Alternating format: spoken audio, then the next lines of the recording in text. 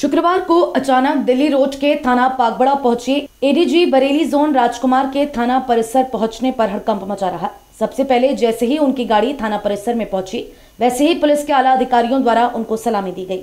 इस दौरान उन्होंने पुलिस के आला अधिकारियों से लॉ एंड ऑर्डर पर चर्चा की और उनको दिशा निर्देश भी दिए। उत्तर प्रदेश में कानून व्यवस्था को मज़बूत करने को लेकर उत्तर प्रदेश के मुख्यमंत्री योगी आदित्यनाथ द्वारा पुलिस प्रशासन को सख्ती के साथ निर्देश दिए गए हैं।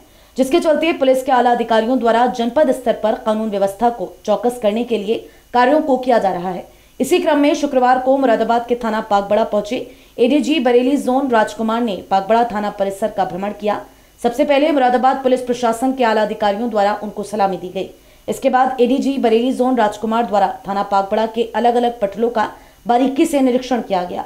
भोजनालय से लेकर शस्त्रागार और अभिलेखागार का भी उनके द्वारा बारीकी से निरीक्षण किया गया। संबंधित अधिकारियों को दिशा निर्देश दिए गए। थाना पागबड़ा में महिला हेल्पलाइन के लिए बनाया गया महिला हेल्प डेस्क दफ्तर भी उन्होंने चेक किया और मौजूदा अधिकारी को विभिन्न बिंदुओं पर जानकारियाँ उपलब्ध कराई। साथ ही दिशा निर्देश भी दिए कि थाना परिसर में पहुँचने वाले प्रत्येक फरियादी को सम्मान बिठाकर उनकी समस्याओं को सुना जाए और अपराधियों को सलाखों के पीछे भेजने का काम किया जाए। एडीजी बरेली जोन राजकुमार द्वारा थाना परिसर के वाहन रखरखाव को देखा गया। और कबाड़ा खड़े वाहनों पर थानाध्यक्ष को दिशा निर्देश दिए गए। महिला हेल्प डेस्क पर बैठी महिला अधिकारी को दिशा निर्देश दिए और थाने पर पहुँचने वाले आगंतुकों का ब्यौरा भी चेक किया। इस दौरान उन्होंने थानाध्यक्ष पागबड़ा रंजन कुमार शर्मा को पागबड़ा की सुरक्षा व्यवस्था पर दिशा निर्देश दिए, साथ ही यातायात नियमों को लेकर भी निर्देश दिए गए। एडीजी बरेली जोन राजकुमार द्वारा बताया गया कि उनके द्वारा जनपद के अलग अलग थानों का भ्रमण किया जा रहा है। कानून व्यवस्था पर दिशा निर्देश दिए जा रहे हैं।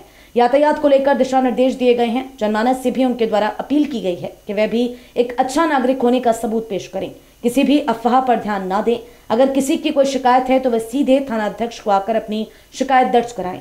शिकायतकर्ता को पूरा न्याय दिलाया जाएगा, पीड़ित को इंसाफ दिलाया जाएगा और अपराधियों को सलाखों के पीछे भेजा जाएगा।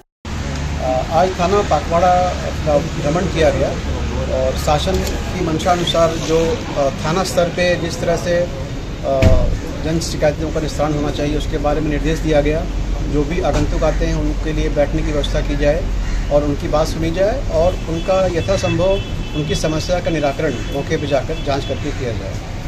इसी के साथ साथ, जो शासन के निर्देश हैं, महिला सुरक्षा के संबंध में और माफियाओं और अपराधियों की विरुद्ध कार्रवाई के बारे में, उसके बारे में भी थानाध्यक्ष से वार्ता की गई। उनको बताया गया कि उसमें कार्रवाई करनी है।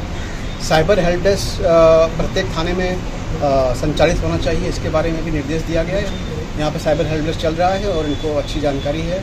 महिला हेल्प डेस्क भी प्रचलित है। वहाँ पर भी रजिस्टर कुछ देखे गए। तो कुल मिलाकर के कुछ इंस्पेक्टर यहाँ पर जो हैं, उनको दिशा निर्देश दिए गए हैं और व्यवस्थाएँ ठीक ठाक चल रही है यहाँ पर। शासन की जो मंशा है, उसके अनुरूप कार्रवाई करने के लिए यहाँ पर निर्देश दिए गए सर यातायात को लेकर के भी आमजन से क्या अपील रहेगी आपकी? हाँ यातायात को लेकर के भी यातायात भी प्रत्येक थाना देश की ज़िम्मेदारी है कि अपने थाना क्षेत्र की यातायात को सुदृढ़ करें। और क्योंकि ये नेशनल हाईवे है यहाँ पर थोड़ा सी भी यातायात बाधित होगी तो काफ़ी लोगों को परेशानी होती है तो उसके बारे में भी निर्देश दिए गए हैं। और मेरे द्वारा जोन के सभी थानाध्यक्षों को ये बताया गया है कि अपने अपने थाना क्षेत्र की यातायात व्यवस्था सुदृढ़ करें। सड़क सुरक्षा को लेकर के जनमानस से अपील क्या रहेगी सर?